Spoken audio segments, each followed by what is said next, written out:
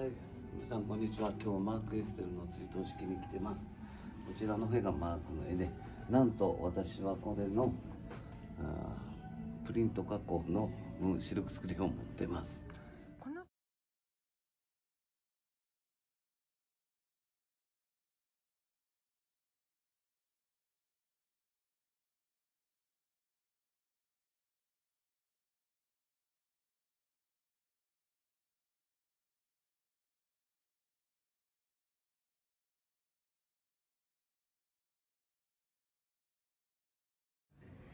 して惚れ込んで惚れ込んでもう日本書紀古事記日本の神話のご自分がまるっきりその中に透明して入っていかれてご自身が神話の中の人物になったようなファンタジーの世界に入られて腕を取られてそして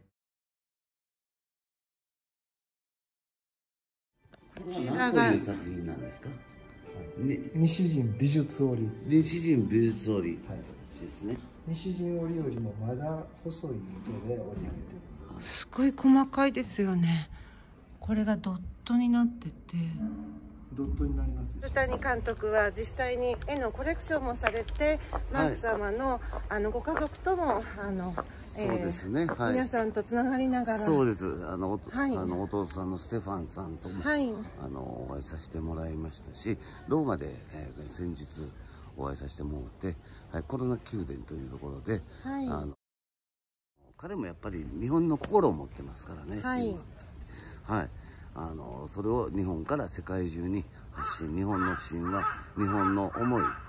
彼はも日本人の心を持ってますので発信していきたいなとはい、思ってフランス人はいでおられるマークさんですが、190のあの神社にも絵を奉納されて日本神話をあの研究しえー絵を描かれて本当に作品も拝見して今日は胸がいっぱいです。はい、どうもあ